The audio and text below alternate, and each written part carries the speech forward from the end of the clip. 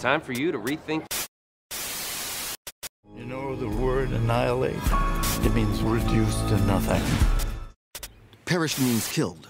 We know what perished means.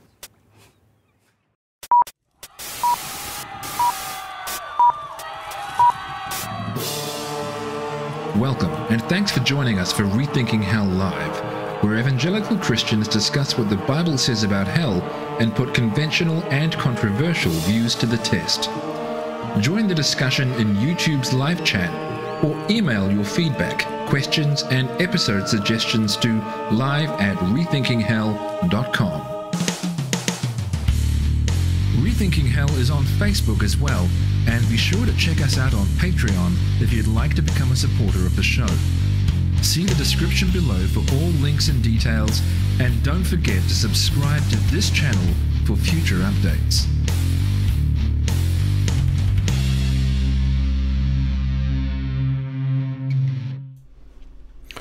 Well, hello. Uh, welcome to another episode of Rethinking Hell Live. My name is Chris Date, and uh, I'm really excited to share today's episode with you. Um, this the past few days preparing, uh, preparing for it um, has been something of a um, I mean, it's been of a it's been of a bit of a breakthrough uh, for me on the topic that we're going to be covering today. So we'll get to that in a second.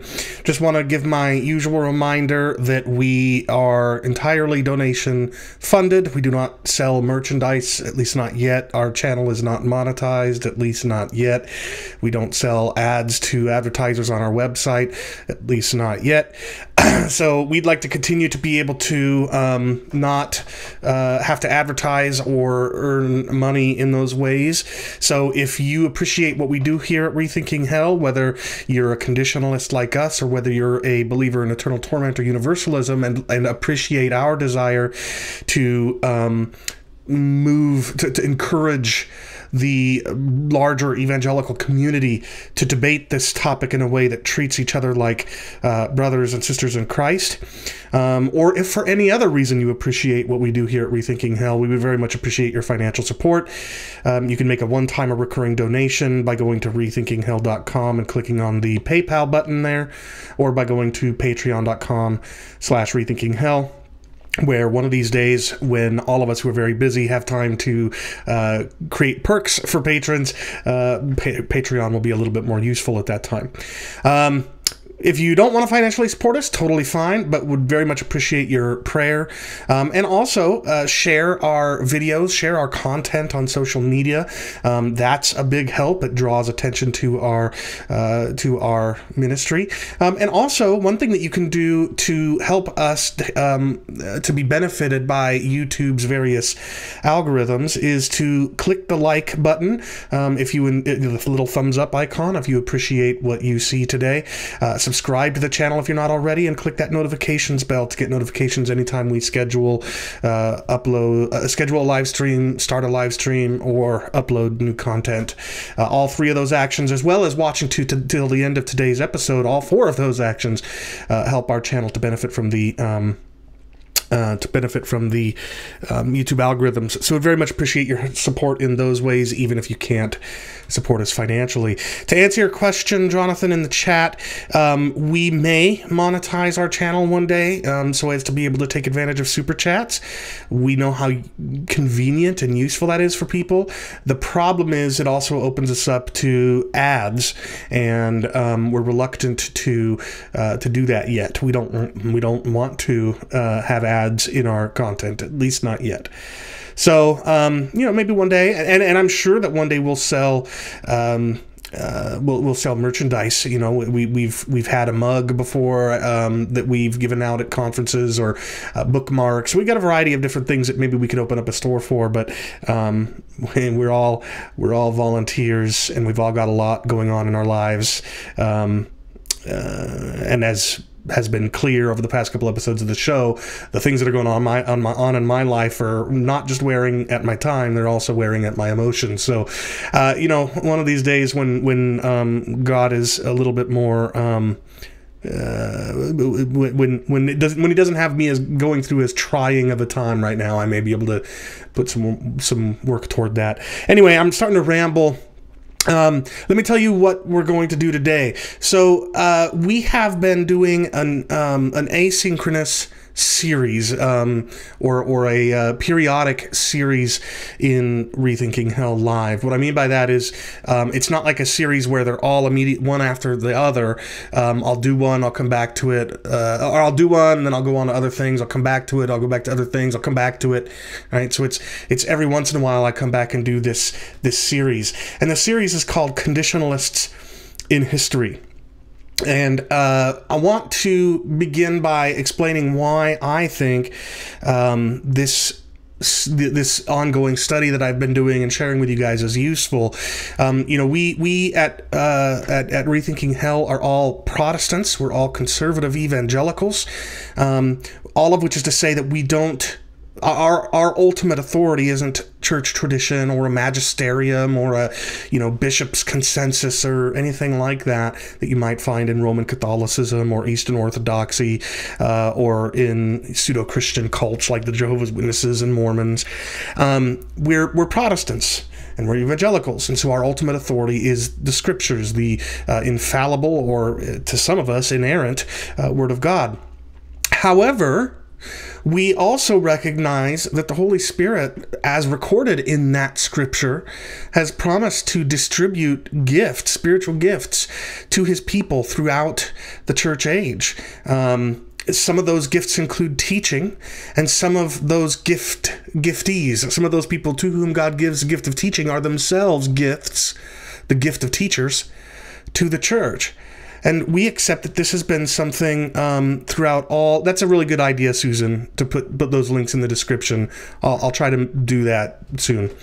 Um, but anyway, God has been at work in that way all throughout church history, teaching and guiding His people, um, and as such, I think it is the height of folly to disregard, dismiss, ignore what 2,000 years of Christians have been saying about the topic of hell um, and treat it as if, you know, it's, it's totally superfluous. We can ignore it and just go to the word as if we don't bring to the word our biases, our presuppositions, and so forth. No, we, we, we want, we recognize that we stand on the shoulders of giants and we want to um, let that history, the, the, the, teachings of those biblical giants, not biblical, those Christian giants throughout history, uh, we want we want to let them inform um, how we understand the text of Scripture and the conclusions that we come to. Not fal- not infallibly. The, the, the, church tradition is not infallible. Again, we're Protestants. We believe that's only Scripture. However, it's let me put it this way: the doctrine of sola scriptura does not say Scripture is the only authority. That's a mistake. That's a myth. The doctrine of sola scriptura says that Scripture is the only infallible authority for faith and practice in the church. But tradition and church history is authoritative, just not as much so as Scripture. Now, what does that lead me to conclude personally? And I think that most or all of us at Rethinking Hell share this conviction. What it means is, um, among other things, it means that if the doctrine of conditional immortality or annihilationism um, were first to be taught by Christians thousand, you know, over a thousand years after uh, the time of Christ, that would be a real big red flag that this is uh, that this is a, a, novelty. It's a theological novelty, and as Edward Fudge was fond of saying, if it's new, it probably isn't true, and if it's true, it probably isn't new or he'll say it the other way around. I don't, I don't remember. Um, but that's really stuck with me. And so when I was first becoming convinced of conditionalism, when I was first moved to the fence and then was making my way toward becoming more and more convinced of conditionalism, um, I was not willing to come down off of that fence if I thought that the first person to teach conditional immortality was Edward Fudge, or for that matter, somebody in the 19th century like Jacob Blain or for that matter, the fourth century, like Arnobius of Sicca. If the first um, conditionalists that we could identify were not until a few hundred years after Christ, that would be that even that would be a bit of a red flag for me personally, although not nearly as much so as if the first person that had taught it had been in the 19th century. But nevertheless, you see my point. Hopefully, um, what what made me final, or one of the things that made me um, finally comfortable to embrace conditionalism and self-identify as as a conditionalist is that I discovered that many of the church fathers, the earliest ones, were conditionalists. And so, um, and so it's with that conviction in mind and those findings in mind uh, that I started the Conditionalists in History series on this channel many episodes ago. And uh, what I've been doing in every installment of that series is looking at another um, person in Christian history who uh, was a conditionalist, or at least appears to have been a conditionalist, given all the evidence we have available to us. And for the most part, those have included very early um, Christian writings and even a little bit of pre Christian writings. Uh, there was one installment of the series that was a modern theologian, namely Clark Pinnock, uh, but I don't, but that's only loosely in the conditionalist history, uh, conditionalist in history series because what I've been mostly trying to do with this series is establish um, that conditionalism was, uh, if not the only view in the earliest Christian writings, it was at the very least the most dominant one. So we're going to continue that series today, and as I have done in previous installments, uh, I'm going to go to some slides, which is good because now you don't have to look at my face anymore. Anyway, hey Nick, it's good to see you. Thanks for tuning in. Um, and like I've been doing in this series, I'm going to start with a bit of a, uh, a refresher, a little bit of just to catch people up to where what we've looked at so far. If you have not seen any of these episodes, any of the installments of this series, I would encourage you to go back and watch them because I'm about to show you who we've covered so far. And if you question whether the people that we've covered so far were indeed conditionalists, I'll want you to go back and. Um, watch those episodes so you can see for yourself the basis for my identifying them as early conditionalists.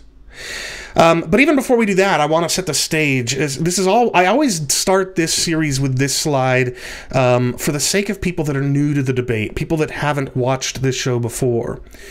See, believers in uh, uh, eternal torment do not believe merely that the lost will suffer forever in hell. It's not merely eternal torment. Um, as the Rethinking Hell Hell Triangle helpfully demonstrates, um, this is a, a, a, resource that we make available at rethinkinghell.com slash hell dash triangle. Uh, or maybe it's just hell triangle without a dash. But either way, what it helpfully illustrates, having placed each of the three major Christian views of hell at one of the points of the triangle, is that every pair of views uh, share something in common that the third denies. And what the doctrine of eternal torment and the doctrine of universalism share in common is a belief that when the unsaved, having previously died, are resurrected back to life, they, along with the saved, will be made bodily or physically immortal and will live bodily or physically forever. The question, according to the doctrine of eternal torment, is not who will be made immortal and live forever, but where they will live forever, having been made immortal. Um, the saved, having been raised and made immortal, will go on and live forever in the blissful presence of God and community of his people. But the lost, having been resurrected and made bodily immortal, will live physically forever in wherever hell is to experience whatever the nature of the torment is that they experience there but it is everlasting life in immortality, in the immortality of both soul and resurrected body to which soul has been reunited. Um, and that's this also true of universalism, with one exception. Universalism says those who have been raised immortal and will live forever and begin to live their everlasting life in hell will eventually, all of them, repent and be saved and continue living forever, but in heaven rather than in hell. So both the doctrine of eternal torment and universalism um, both thank you peter for pointing that out in the chat. Um, so both both eternal torment and universalism both share belief in universal immortality or unconditional immortality or indiscriminate immortality meaning that there are no conditions that anyone upon being raised from the dead must meet in order to be given immortality by god in soul and body Everyone will be given it indiscriminately. And that is precisely what those two views share in common, which we conditionalists deny. Uh, unlike eternal torment, which says that everybody will be raised immortal and live forever, we believe only the saved will be raised immortal and live forever, and everyone else will die, literally, a second time, be destroyed, and never live or experience anything ever again. So, to establish this, just in case you doubt what I have said about the doctrine of eternal torment entailing the everlasting life in immortal body and soul in hell of the wicked, just uh, survey church history. The earliest believers in eternal torment in, in, the church that I've been able to identify include Tatian of Adiabene, writing in around 160 AD or CE. I'm I'm in academia now, and they want us to use CE for Common Era instead of AD for Anno Domini, and of course that means that instead of BC, we're supposed to say BCE before Common Era. So if you see CE and you're wondering why I'm not using AD, that's why. Welcome, Jean. Uh, Jean, uh, I'm, I'm assuming I'd pronounce your name Jean in Italy. Thanks for tuning in from abroad. I appreciate that. And notice that uh, Tatian of Adiabene, again, the earliest Christian believer in eternal torment that I can identify, says that uh, after we die, we will either receive the immortal with enjoyment or the painful with immortality. Writing around the same time, um, in case that wasn't clear, writing around the same time, about 15 years later, give or take, Athenagoras of Athens says all of us will live another life, either better than the present one and heavenly, or a worse one in fire. And he quotes Paul in 1 Corinthians 15 talking about the immortal immortalization of the resurrection body. He quotes that and applies it to both the saved and the lost, which is a perversion of that text beyond belief. Uh, but even believers in eternal torment today sometimes do it. But you see the point that I'm getting at. Athenagoras is making clear that he and Tatian are the, the immortality that they uh, think the lost will have when they are suffering forever in hell is immortality that comes with resurrection. So these earliest believers in eternal torment in, in the church, writing at a 160, 175 AD, are saying the lost, like the saved, will be resurrected immortal in body and soul and live forever it's just where where will they live it? And this this belief in the immortalization and everlasting embodied life of the wicked is continued to be affirmed all throughout church history by believers in eternal torment. So a few hundred years later, Augustine of Hippo, a believer in eternal torment, says, "Now the human spirit or soul cannot die, meaning it is immortal." And he says that that capacity of immortality, currently only enjoyed by the soul, will one day be in the bodies of even the damned. Fast forward 1300 years to the Great Awakening, and Jonathan Edwards says that the resurrected lost, uh, he says of the resurrected lost, that their bodies will be immortal. and and he and he outright, I mean, I, I'm I'm I, I'm close to calling this a lie but I'll just say a grievous error. He says, he says, the righteous are no more in the very words, I'm assuming of scripture, said to be immortal in happiness that the wicked are said to be immortal in misery. Uh, no, it does not. The, the very words of scripture do not say that. That's an outright, it seems like an outright lie. What he must mean is something like, it can be no less inferred from Scripture that the uh, that the righteous will be immortal in happiness than that the wicked will be immortal in misery. But that's not what he said. I hope that's what he meant. That'd be the only way to um, make it not a lie. But that having been said, the point is just that this that this tradition affirmed by Tatian and Athenagoras in the second century and repeated by Augustine of Hippo in the fifth century, and of course uh, uh, 500 years later in the Scholastic period, affirmed by Thomas Aquinas Aquinas and others. Here in the Great Awakening is still continued, and then even into the modern day. Robert Peterson, in debate with Edward Fudge, says the lost will be immortal in body and soul. John MacArthur and John Piper and a host of other traditionalists affirm that the resurrected lost will live forever. So there's really no question here. If you are doubtful that I'm, I, I can't count, I, I can't count the number of times people, including scholars, who have said I've misrepresented the doctrine of eternal torment by saying that it affirms that the lost will be resurrected and made immortal even in their bodies and live forever in their bodies. But that is what the doctrine of eternal torment entails. It's what its advocates, its advocacy is probably the wrong way to put it, but its affirmers, those who've affirmed it since some Christians started affirming it, have said as much. That the resurrected lost will be immortal in body and soul and live forever. The reason I say all of that is just to set the stage for what we're going to see when we turn to the subject of our attention today. But before we do that, contrast what these traditionalists throughout history have said with what conditionalists say. Um, the person, uh, one of the three or four people most responsible for convincing me of conditionalism is Glenn Peoples, uh, whom I am uh, blessed to be able to call a friend. He says that immortality or endless life is a gift that God will give to those who are saved at the resurrection. It's a very different characterization of things than believers in eternal torment through church history have used. Edward Fudge, who has who passed away a few years ago, says that Scripture makes it clear that God will give the redeemed immortality and incorruptibility, not the wicked. Uh, Stephen Travis, a British theologian, says that human beings are conditionally immortal. We have the possibility of becoming immortal as a gift from God. So you see the two ways that traditionalists and conditionalists talk through history. Believers in eternal torment over here uh, say the resurrected lost will be immortal in body and soul, just like the saved. They will live for physically forever, just like the saved. But conditionalists say that no, immortality and endless life are only going to be given to the saved. The lost, when they are raised, will instead be raised mortal and will literally die a second time and be destroyed.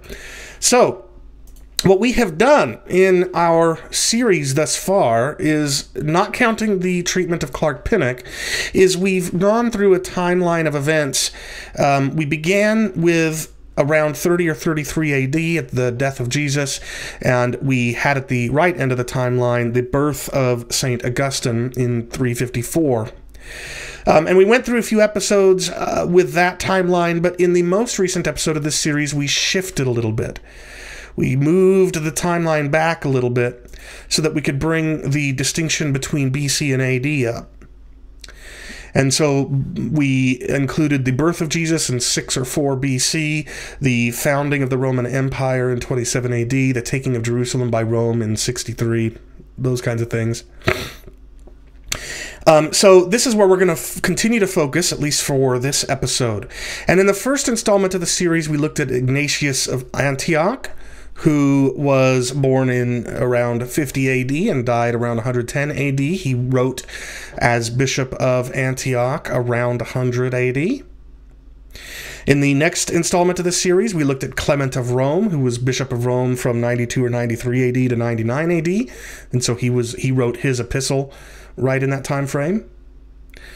The uh, next installment of the series featured the Epistle of Barnabas, written somewhere between the destruction of Jerusalem in 70 AD and uh, 130 AD, somewhere in that time frame. Then we looked at the Didache, the, the teaching of the apostles, which was written somewhere between 50 AD and 130 AD. Then we looked at the writing called Second Clement, which is a little bit of a misnomer. It's not really Clement of Rome, it's known as um, pseudo Clementine literature, false Clementine literature. But nevertheless, a respected document in that time frame, written somewhere between 95 AD and 140 AD. And then I think it was at that point that we, in last episode, introduced uh, some pre Christian writings known as the Psalms of Solomon, written somewhere between 63 and 40 BCE or BC. And then we looked at its um, uh, mis it's misleadingly count. I don't know how to put this. It, it's it's what might be considered counterpart in the Christian era, the Odes of Solomon, written somewhere between 100 and 250 A.D. I say it's it's it's it's as if it's the counterpart to the Psalms of Solomon. It, it is probably written. Uh, these were probably written in an attempt to continue the tradition laid down by the Psalms of Solomon. Um, but they but they really are not. They're not written by the same same author, and they shouldn't be confused with one another. But nevertheless, that's uh, that was what we looked at last time.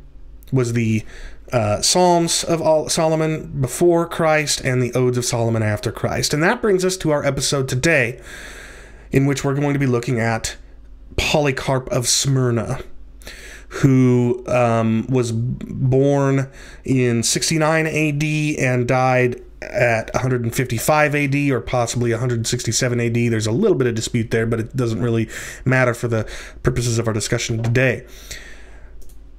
Now, before I tell you who uh, who uh, Polycarp of Smyrna was and why I am now convinced he's a conditionalist, I want to um, I want to explain why I have until this episode hesitated to claim Polycarp of Smyrna as a conditionalist. See, I have for some time now, even before doing some of these episodes, been claiming Ignatius of Antioch, Clement of Rome, Irenaeus of Lyon um, as early church fathers who were conditionalists. Um, and I've, I've been willing to do that because it has been really clear and there didn't seem to be any substantial um, what might be called recalcitrant evidence evidence that seemed to challenge the conclusions i had come to um, so I, with all those other authors, I had very clear positive testimony from that particular church father in support of conditionalism. And then on the other side of the coin, I had no substantial challenge, as far as I can tell, to identifying those fathers as conditionalists. But up until preparing for this episode a few days ago, when I first started preparing for it, I had no, I didn't have either of those, as far as I could tell, for Polycarp of Smyrna. Um, what I had from Polycarp of Smyrna was nothing really clear, I thought. And in the meantime, I had at least one text attributed, uh, recording words attributed to Polycarp, and which seemed like very possibly an affirmation of eternal torment.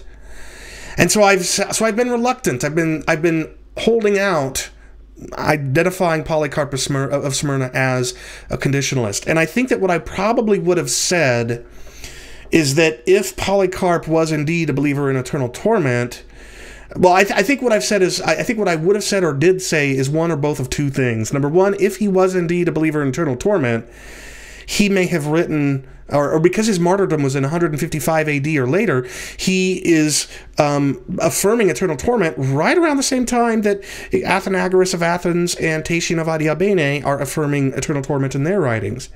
It wouldn't it wouldn't be as early as the other writers that we've looked at, Ignatius of Antioch, Clement of Rome, etc. Um, so that was one way I would have uh, addressed the claim of Polycarp.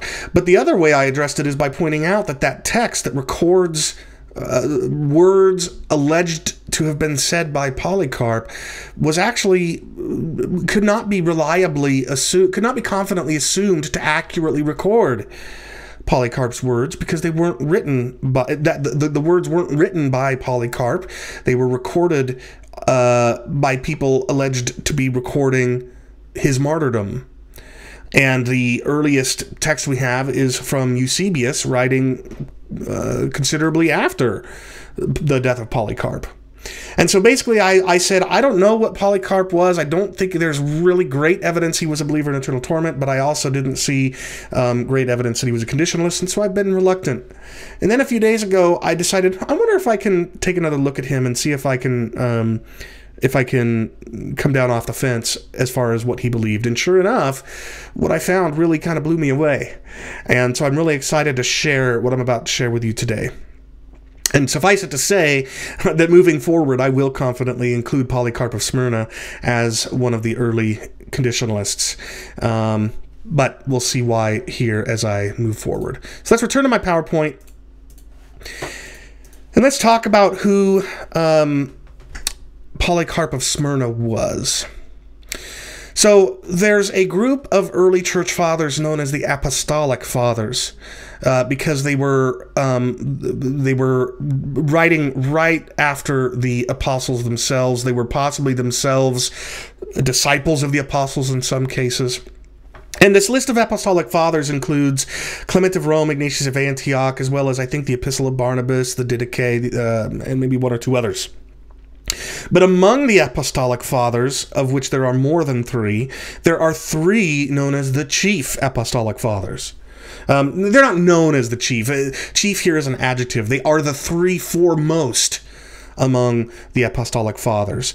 Those are Clement of Rome, whom we've looked at before and was a conditionalist. They were Ignatius of Antioch, whom we looked at before and who and was a conditionalist.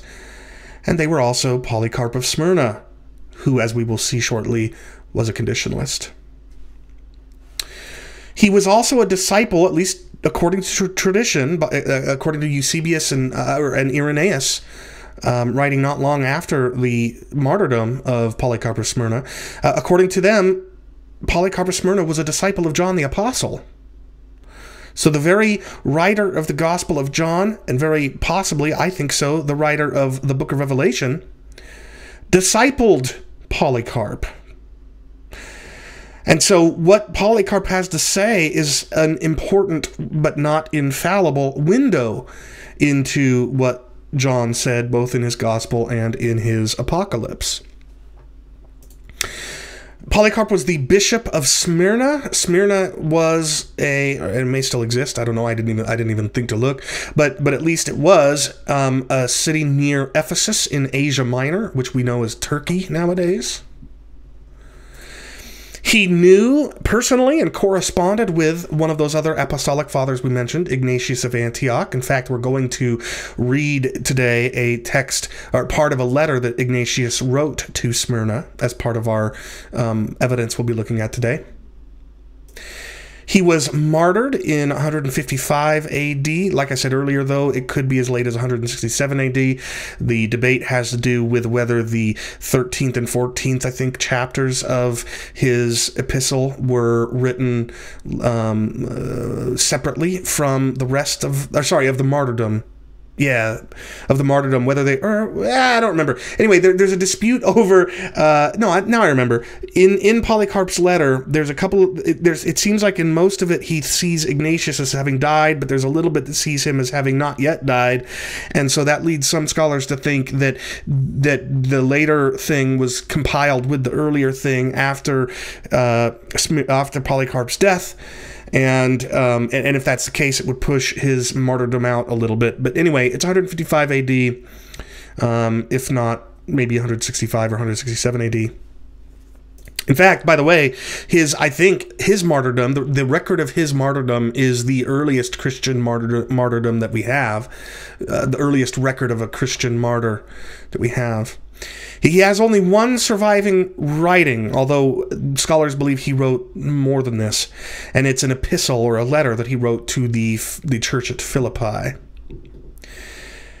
And as I said earlier, his alleged dying words are recorded by Eusebius in his church history. And as I mentioned, I have historically said I question how reliable Eusebius's record is.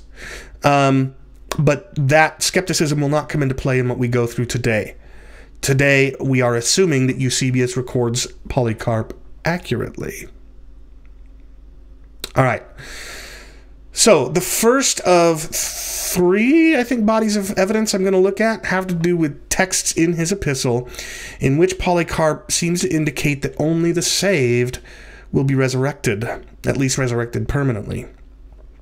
In the second chapter of his epistle, he says, He who raised Christ up from the dead will raise up us also if we do his will. Uh, and, uh, and then he goes on from there. Uh, and the word if there is there in the Greek. Uh, aeon or heon is the Greek word, and he uses it many times throughout his epistle as a condition upon which something would be true. So those who do not do his will, according to Polycarp, would not be resurrected. In fact, and he repeats himself in chapter 5 if we please him in this present world, we shall also we shall receive also the future world, because he's promised to us that he will raise us up again from the dead. So again, in Polycarp's mind, resurrection, in the truest sense of the word anyway, is conditioned on doing Christ's will, being in Christ. Now, just to be clear, that does not necessarily mean that he thinks the lost won't be raised at all. In fact, I'm going to challenge that he, I'm going to argue that he didn't mean that here in a second. Um, what he may simply mean, as conditionalism teaches, is that the lost will be raised, but only to face destruction very soon thereafter, after which it will be as if they'd never been raised at all. This is very similar to Isaiah 26, in which Isaiah says that his people will rise and live, but the lost will, but the unrighteous will not. Their oppressors will not, he says. They will not rise and live. That's not doesn't mean Isaiah's refusing uh, that he's saying the lost won't be raised at all. It just means they won't be raised and remain that way. It's as if he's looking into the distant future beyond resurrection and the lost aren't there any longer. Only the saved are. So is that what Polycarp means? I think so, and here's why. He seems to say that a physical death and not the phys- not a normal physical death like one that might happen naturally dying in the lap of luxury and old old age no he seems to say that a um, a violent physical death is the punishment for those who don't believe he says in chapter 2 that christ's blood the greek word is haima um, will god will require exzeteo of those who do not believe in him but he who raised him up from the dead will raise up us also so notice what he's saying. The, those who don't believe in him, God will require Christ's blood from them. Now, on its face, that might not sound like all that substantial on in the in the um, uh, in the context of this debate, but he's but this language of exacting or requiring blood is a reference to the death penalty. The Septuagint rendition of Genesis chapter 9, when after the flood, when God tells Noah that he um, that uh, you know anything any living creature that takes the life of another will itself have its life taken from it. The the Septuagint says that the blood there's Haima again of your lives I will require exzeteo at the hand of all wild beasts, and I will require exzeteo the life of man at the hand of, the, of his brother man. He that sheds man's blood Instead of that blood shall his own be shed. You see, you can't shed the blood of a dead person unless you raise him first. So when you combine the fact that Polycarp thinks that only the saved will be raised, raised and live, with the fact that he says a violent, bloody death is what is deserved by those who don't believe, um, you have every reason to think that he thinks the lost will be raised and then immediately destroyed. But we're not done. That was the second line of evidence. I'm going to offer a third. Um, but this is going to come not from Polycarp's own pen. So so far, we've we've looked at only Polycarp's own words from his epistle, the epistle to the Philippians. But now we're going to look at what his friend Ignatius said to Polycarp. Ignatius, in his epistle to Polycarp, says, Be sober as an athlete of God. The prize set before you is immortality and eternal life, of which you, Polycarp, are also persuaded. Yes, Greg, raised up is the same Greek word as resurrect. Um, resurrect is just raised up. Literally, it means to cause to, to stand up, to not not not to intransitively stand up, like oh I'm going to stand up, but rather I'm going to stand you up. That's what raise up literally means. And it's the word that is translated resurrect or raised. It's, it's the same thing. Now, there's also a word anastasis, uh, uh, anastas, anastasis, which means, or, or athanas, athanasia, which, or anast, anastasia. That's right. So anastasia means a standing up, a resurrection. Athanas, athanasia means a immortality. There's also aphtharsia meaning incorruptibility. But the point is, yes, resurrection literally just means a standing back up again, to cause to stand back up. But anyway, notice what Ignatius is saying to his friend Polycarp. He's saying to Polycarp that you already know that the prize of being an athlete of God is immortality and eternal life. But it's not just Ignatius who seems to think that, it's also those who recorded or purport to have recorded Polycarp's own martyrdom. So, in the martyrdom of Polycarp, chapter 14, Polycarp is recorded as saying, God, you have counted me worthy of the resurrection and eternal life through the incorruption imparted by the Holy Ghost. See, if we assume that this is indeed the words of Polycarp, Polycarp thinks immortality, that resurrect, that immortality after resurrection comes through the incorruption that comes from the Holy Spirit. This is immortality and everlasting life come by being united in Christ.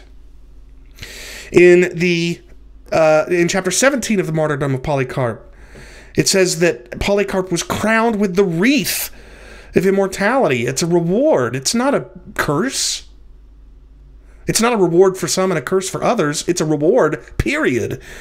And then again in chapter 19, we see that he has acquired the crown of immortality. So we've got three bodies of evidence, and, and um, I appreciate your question, Red Pill Matrix. It sounds like you're a universalist.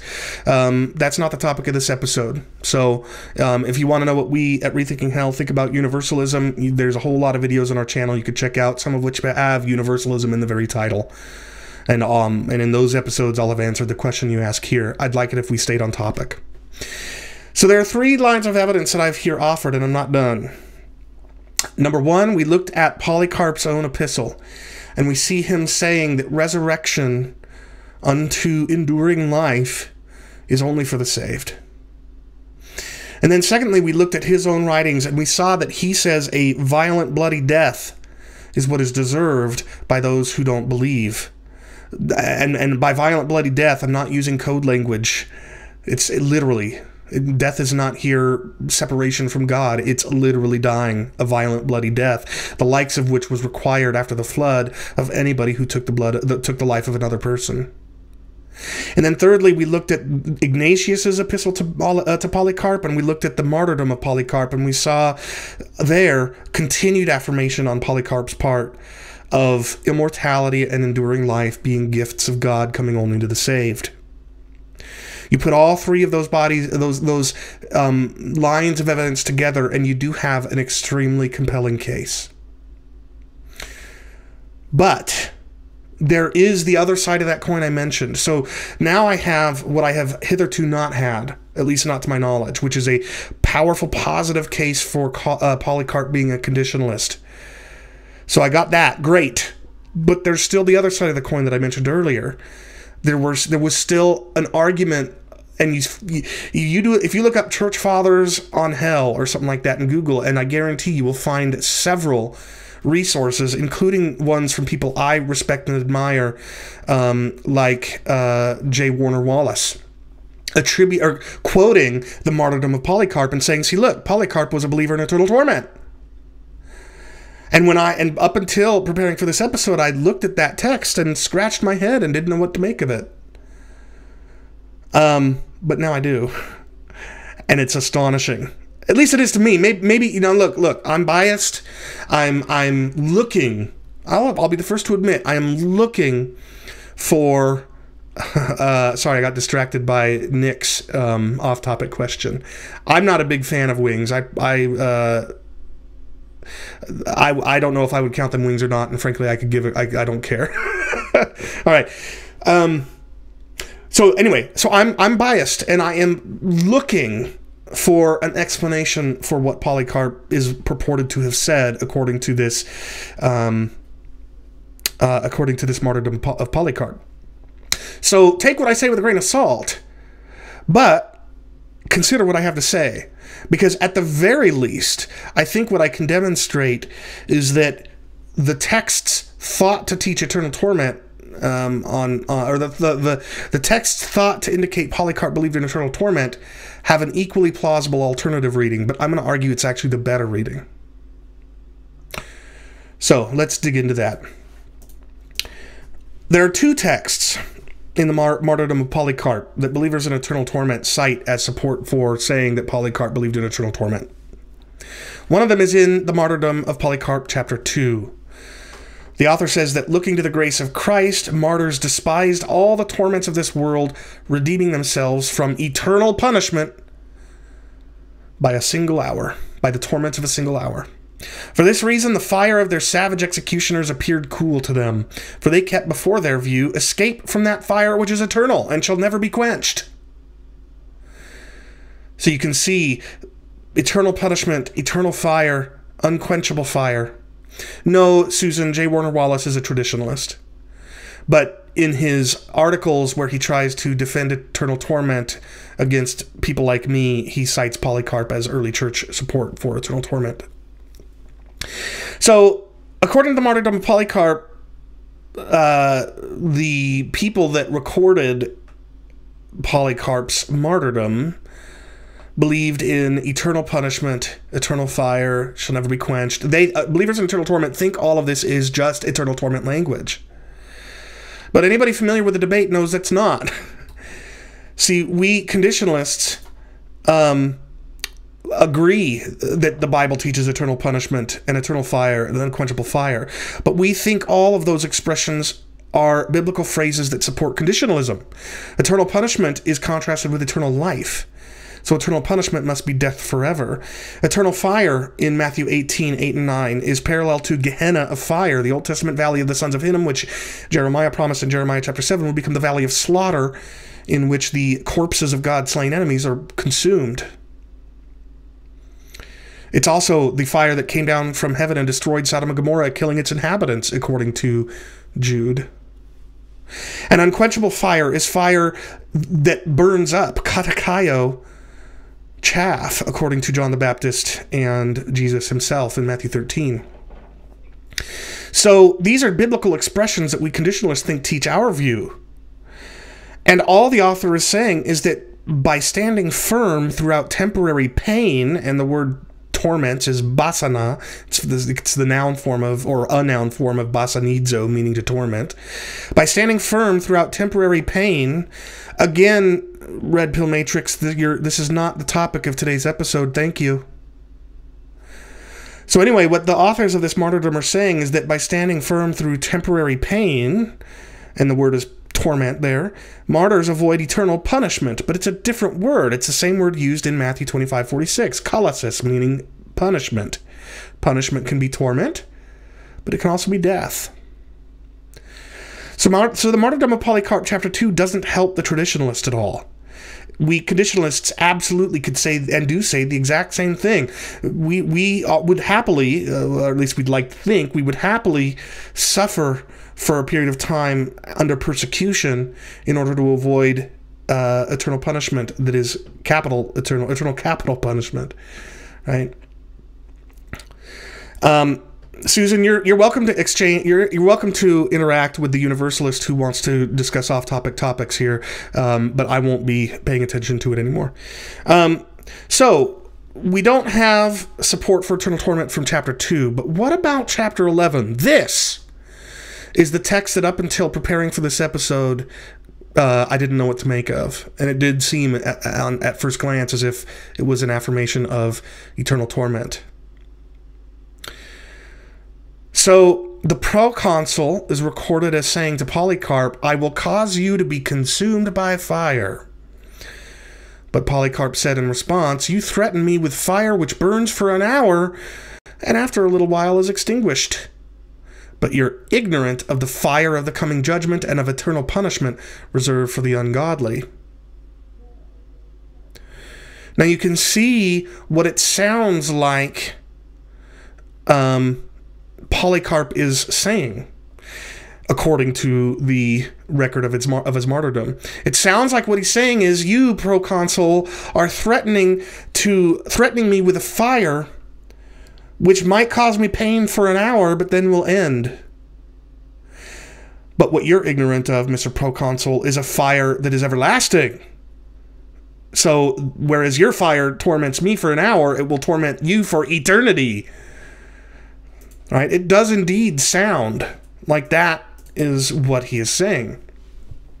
Um, what the reason why I didn't outright see it as proof of eternal torment on Polycarp's part, though, was because um, nobody experiences pain on a funeral pyre, on a pyre, a, a big pile of sticks, and, and, and they're tied to a stake in it, and they set it on fire. Nobody is burned experiencing pain for an hour in that fire before they die. Um, I, I'll confess, I don't know how long it takes to burn to death in, you know, being tied to a stake and having a pile of wood beneath your feet lit ablaze. But I'm, I was fairly certain, and I am fairly certain, it doesn't. Ta- you're, you're not in excruciating burning pain for an hour. I get so sick and frickin' tired of universalists pretending as though universalism and universal reconciliation are two different things. They're not. They're just two different phrases for the same thing. Anyway, so uh, what my suspicion was was that what Polycarp was actually doing was using fire as a metaphor. You threaten me with fire, which brings about death, but that death is as if will last as if only for an hour. But the punishment that is waiting for you, but, but well, but, but then will be extinguished by resurrection. But you, proconsul, you are what is awaiting you is an eternal punishment of death. So I thought I thought maybe what Polycarp was doing was using the fire uh, that the Polycarp was threatening him with as a metaphor for a temporary period of time being dead after which God would raise him from the dead and then kill the proconsul who would remain dead forever thereafter. Um, but I was not at all confident of that reading, and I and I am now inclined away from that reading. But as it turns out, being inclined away from that reading inclines me toward what I think is a better reading, and a better reading than even the Eternal Torment reading, a reading that squarely puts Polycarp in the conditionalist side of the debate. So let's take a closer look. Um, what I'm about to try to demonstrate is that Polycarp's defiant response to the proconsul reflects his understanding that the proconsul's fire is resistible and impotent, whereas God's fire, his fiery judgment on the last day, will not be resistible and will not be impotent. His response really has nothing at all to do with how long a fire burns or how long it inflicts pain. So, why do I say this? Well, if we look a little closer, that that record in, or that this chapter of the martyrdom has the proconsul saying, "I will cause you to be consumed by fire." Dapanao is the word to devour, to consume. And Polycarp says, Well, the fire you threaten me with will only burn for an hour and then will be extinguished. Spenumi. All right. Now watch this. After he gives this defiant response, um, and you can go read this for yourself. Uh, first, the proconsul says, Actually, I'm going to throw you to the beasts instead. But then Philip is like, No, he can't be thrown to the beasts, and there's a reason for it. I can't remember what it was. So instead, the proconsul um, uh, ties him to a stack of to a, you know to a stack of wood to burn him to death. And he and then Polycarp prays and then the, the thing is lit on fire. And the record uh, whether you believe it or not says that the fire did some really bizarre stuff. Um, and among the bizarre stuff it did Polycarp according to chapters 15 and 16 of the martyrdom says Polycarp appeared within the fire, which was doing weird stuff, but not like flesh was just burnt. He, he was not being affected, negatively harmed by that fire. He, Polycarp, appeared within, not like flesh which is burnt. And then it goes on to say that when those wicked men perceived that his body could not be consumed, dapanao, by the fire, they commanded an executioner. Why? Because Polycarp hadn't been killed. He was being protected from the fire.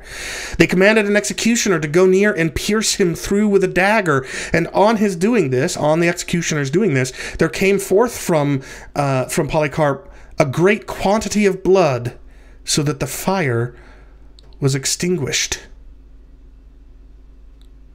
Are you starting to see what's going on here? The proconsul had threatened Polycarp with a fire he intended to consume Polycarp, to kill him and to burn his body up.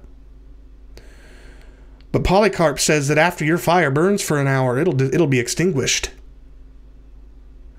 And sure enough, what happens uh, just a few chapters later in the record, whether we're to believe it or not, of um, his martyrdom, the fire does not consume him.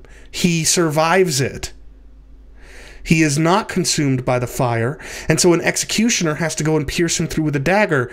And as a result of being stabbed, a huge quantity of blood. By the way, if you get stabbed, no amount of blood will come out of your body that is sufficient to put out a fire. This is supernatural. So God protected um, Mar- uh, Polycarp from the fire and then allows the executioner to end his life, supernaturally allowing a great deal of flood to come out and um, quench, extinguish that fire. See, here's the point. In context, in in the own in the writer's flow of thought, the writers of the martyrdom of Polycarp, the proconsul's threat proved resistible and impotent, just like Polycarp said it would be. The, the proconsul was not, with his puny, mortal, mortal started fire, was not able to kill Polycarp and consume his body. And after the fire burned for some time without harming Polycarp, only then did God permit Polycarp to be stabbed and killed. So God is the one who supernaturally extinguished the puny mortal proconsul's fire. See, the proconsul's fire was not unquenchable, it was quenchable, and God quenched it after proving that it was impotent. But God's judgment fire, by contrast, will not be resistible because, not being extinguished, it will destroy the risen wicked. That is the point of Polycarp's words in the martyrdom of Polycarp. There's, you, I mean, just go back and look for yourself. There's nothing here that absolutely, clearly, indisputably makes clear that Polycarp is worried about being tormented and or not worried. He envisions being tormented in fire for an hour, but then his torment will come to an end, and he and, and allegedly he's contrasting that with um, uh, with an eternal fire that will torment the wicked forever. No, that's not there. That's not what he's saying. You have to read that into this text. But if you let the oh, the flow of the of the text um, dictate your reading of it, what Polycarp is saying is that the proconsul's fire is puny mortal fire. It won't consume him and it will be extinguished. But God's fire will not be extinguished and so will consume. It will destroy the risen wicked. So, far from challenging, far from um, being a believer in eternal torment and being support for early belief in early Christian belief in eternal torment, Polycarp proves upon closer examination to be much better support for conditional immortality for four reasons. Number one, because he says resurrection is only for the saved. Number two, he says a violent, bloody death is what awaits the ungodly. Number three, those who knew him and those who recorded his martyrdom said that immortality and eternal life, uh, immortality and everlasting life are gifts given to the saved alone. And number four, in the very text alleged to indicate that Polycarp believed in eternal torment, um, well, not only not only does it not support eternal torment, but it seems to indicate that God's fire will indeed consume, devour, destroy the wicked. That's a powerful case. And that's why from now on I will claim Polycarp confidently as an early conditionalist. So let's look at our terrain one last one last time before we wrap up this episode. Here's roughly the time frame we've been looking at. Um, we've looked at the time frame from 63 to 40 BC, and we've looked at the time frame from 50 to 250. You can see by the yellow gradient that the densest yellow is right around here between 70 and 95 AD. That's because the, the, the fathers that we've been looking at have been most densely concentrated in that period of time. And what we found as we've explored this time thus far is that Clement of Rome, Ignatius of Antioch, Second Clement, the Didache, the Epistle of Barnabas, the Psalms of Solomon, and the later Odes of Solomon all reflect belief in conditional immortality in this time frame. And to that list, we can now also add Polycarp of Smyrna. This is astonishing. The earliest post New Testament Christian writings we have, spanning cities, spanning geographical areas, from various authors, some of them um, authentic, some of them pseudonymous, from all throughout this time period, a firm belief in conditional immortality and annihilationism. And it's not until over here when Origen of Alexandria and Clement of Alexandria teach universalism, and Athenagoras of Athens and Tatian of Adiabene teach eternal torment. We have conditionalism on the coming from the pens of people that were trained by the apostles themselves. We have conditionalism from the pen of the people they discipled all throughout this time period. And it's not until 165 AD or later that both eternal torment and universalism appear. It's astonishing. Astonishing. When when I first began looking into this debate, um, yeah, Peter says, "Welcome home, Polycarp." Amen. I when, when I first started uh, exploring this topic over ten years ago, um, like I said, I was not comfortable coming down off the fence and embracing conditional immortality uh, without if I thought that Arnobius of Sicca in the 300s was the first to teach conditional immortality. At that point, I knew he was at least a conditionalist, but he's also he also wrote some really weird stuff too that is highly dubious. So uh, Arnobius wouldn't uh, wouldn't have done it for me. But as I explored the topic, uh, it's over the 10 years since. As I've explored these writings of these church fathers, yeah, well said, Joshua. It's it's Polycarp who's welcoming us home. That's right. Um, so what I found as I've explored the church fathers over the past over 10 years, and look, I'm not a his, I'm not a historical theologian. I'm I'm trying to make the best tools I have as a as an exegete, as a trained exegete. Right? I'm looking at the original languages. I'm I'm looking at the what, what they say in their context.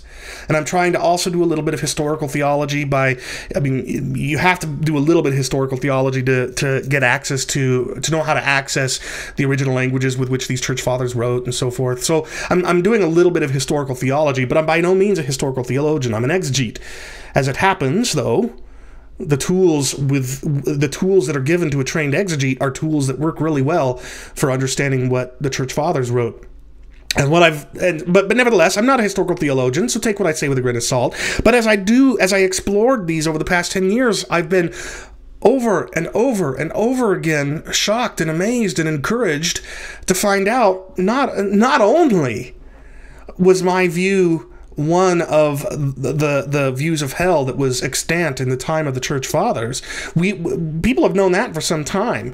By the time of um, by the by the third century AD, you had eternal torment, like I said, on the likes of uh, in the likes of Tatian and Athenagoras. You had universalism in the likes of Origen and Clement of Alexandria, and and then I knew we eventually got Arnobius of Sicca for conditionalism. But uh, but not only did we have conditionalism alive and well among the early church, as every as I look at more and more of these church fathers, one by one by one by one by one, they end up actually proving to have been conditionalists.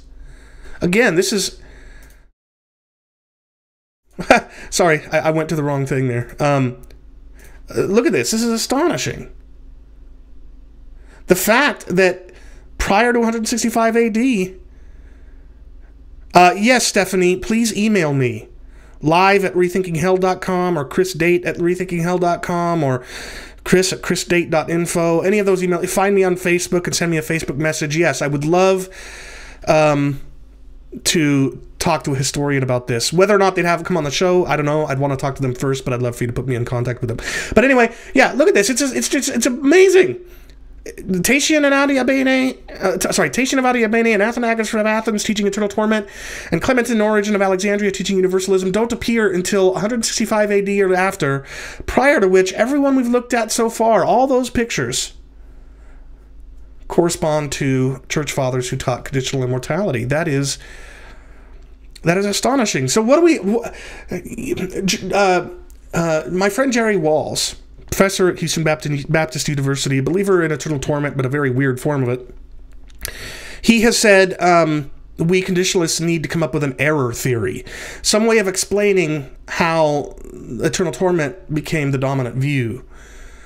Um, and I think that is still work we conditionalists need to do, but we have uh, we have some plausible explanations worth exploring, like um, the entrance into Christianity of converts coming from Platonism and Manichaeism and other pagan worldviews. I think we can explain that. I think what the believer in eternal torment has to explain, however, um, and I don't know how I don't know how they're going to do it. And it's not just believers in eternal, eternal, eternal torment; it's universalists too. What they have to explain is why the why Clement of Rome, Ignatius of Antioch, Second Clement, the Didache, the Epistle of Barnabas, and Poly- Polycarp of Smyrna, not to mention Irenaeus of Lyon, who we haven't looked at yet, not to mention Theophilus of Antioch, who we haven't looked at. How is it that all these earliest church fathers, some of them taught by the disciples themselves of Christ, yes, Joshua, Augustine was originally Manichaean. They have to explain, both believers in eternal torment and universalists, how all of these church fathers coming out uh, from the time of the apostles, how it is that they affirm conditional immortality.